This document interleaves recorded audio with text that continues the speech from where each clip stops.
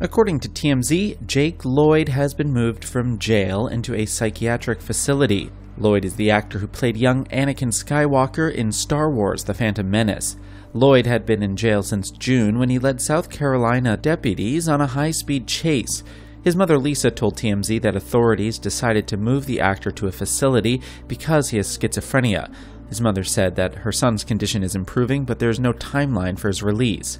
The 25 mile chase exceeded 100 miles per hour. According to CBS News, authorities said Lloyd eventually drove off Interstate 95, plowed through a fence, and continued speeding along a parallel frontage road.